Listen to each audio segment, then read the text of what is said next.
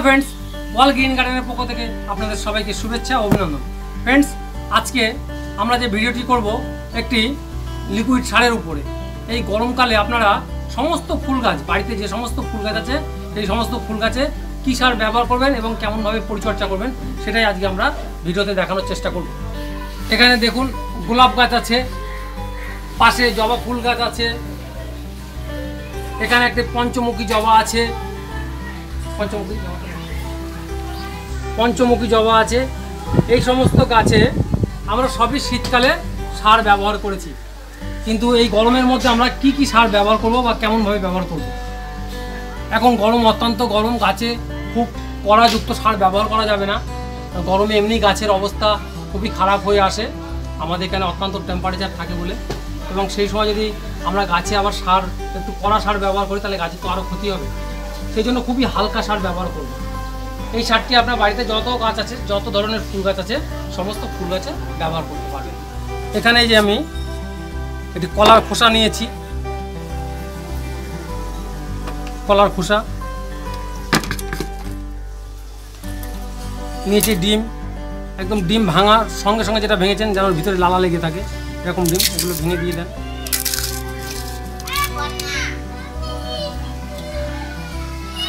আলুর খোসা আছে। সমস্ত আলুর খোসা দিয়ে দেন। কারণ আপনার এই কলার খোসাতে কি হয়, আপনার ফসফরাস যুক্ত থাকে। এটা দিয়ে দেন ফসফরাস যুক্ত, এটা একটি আর ডিমে আপনার প্রোটিন থাকে, এটা আপনার সকলেই জানেন দিয়ে দেন। আলু বা আলুর খোসা, আলু এরকম পচা আলু থাকলে আলুও দিয়ে দেবেন। এটাতেও খুব ভালো একটি স্বাদ। এটা আমরা প্রথমে কেটে নেব চাকু দিয়ে। পচা আলু থাকলে টুকরো টুকরো করে দেবেন যত ছোট ছোট টুকরো করবেন, তত তাড়াতাড়ি পচবে। আর যত এগুলো পচবে, তত আপনার কাজে দেবে। এগুলো আপনি দিয়ে দেন। দেওয়ার পরে আপনারা, এই ধরনের আমরা এটা ইউরিয়া আছে। এই ইউরিয়াটা আপনারা এখন না, ইউরিয়াটা কীভাবে, কখন দিতে হবে আমি দেখিয়ে দিচ্ছি। দিয়েতে আপনারা জল দিয়ে দেন সামান্য এক মগ জল দিয়ে এমন পুষতে দিন আপনারা এটা অন্তত কমপক্ষে পনেরো দিন পুষতে দেবেন। একটা ঢাকনা দিয়ে রেখে দেবেন বাড়িতে পনেরো দিন। এটা আমি করে রেখেছি, এখন এটা সেটা দেখাবো। তো এটা আমি এখন সরিয়ে রাখলাম।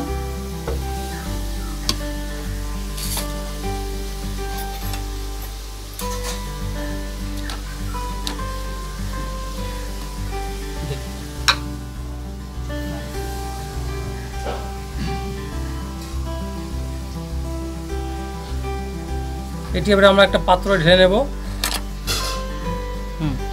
দেখতে পাচ্ছেন? এবারে আমি সেই আগের পাত্রটি এটা ঢেলে নেব।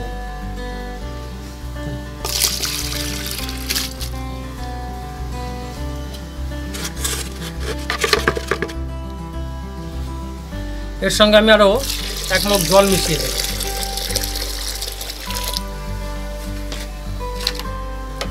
ভালো করে এটাকে নেড়ে দিন।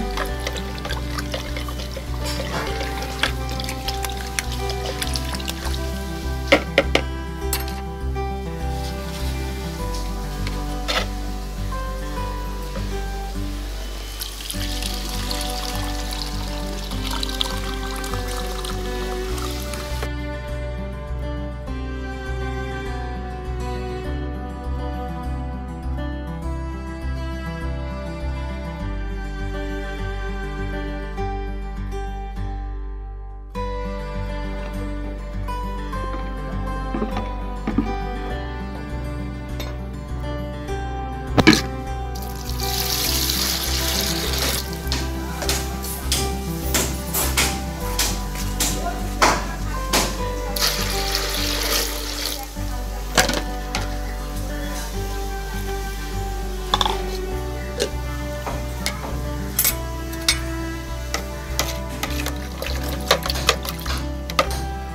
পরবর্তী সময় এটা আপনারা এই যে পচে গেছে, এই অবশিষ্টগুলো আপনারা আরেকবার সার বানাতে পারেন অথবা মাটিতে মিশিয়ে দিতে পারেন বা কোনো গাছের গোড়ায় আপনারা এটি ব্যবহার করতে পারেন। এটা খুব দারুণ একটা সার কিন্তু। এরপরে এর মধ্যে যেহেতু আমাদের গাছটা একটু এই সময় হলুদ হয়ে যায় বা পাতার কালার চেঞ্জ হয়ে যায়, সেই জন্য একটু ইউরিয়া নাইট্রোজেন দেওয়ার দরকার আছে। আমি এই ধরনের দু চামচ ইউরিয়া দিয়ে দিলাম। ইউরিয়া নাইট্রোজেন নাইট্রোজেন থাকার ফলে আপনার গাছের পাতা সবুজ হয়, গাছকে একটু বাড়তেও সাহায্য, লম্বা করতেও সাহায্য করে। দিয়ে এইভাবে আপনারা দশ মিনিট আপনার টেন মিনিট রেখে দিন। তারপরে গাছের গোড়ায় আমরা ব্যবহার করব। দশ মিনিট হয়ে গেছে। দশ মিনিট এই জন্য বললাম, এটি ইউরিয়াটা যাতে জলের সঙ্গে ভালোভাবে গুলে যায়।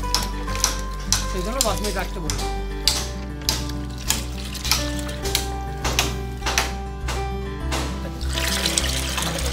এটি খুবই একটি উপকারী সার গাছের জন্য। বাড়িতে যত ধরনের ফুল গাছ আছে, চাইলে আপনারা ফল গাছেও দিতে পারেন, কোনো ক্ষতি নাই।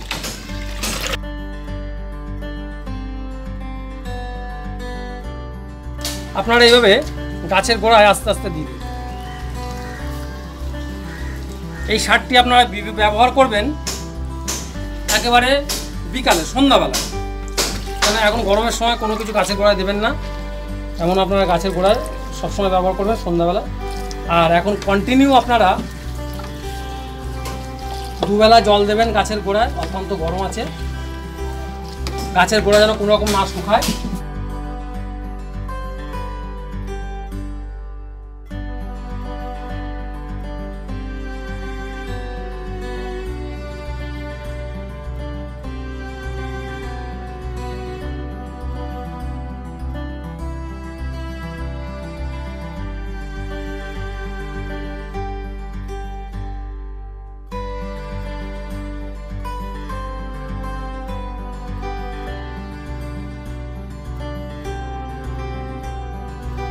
এর ফলে কি হবে? আপনার গাছও সুন্দর থাকবে এবং ফুলও বেশি পাবে।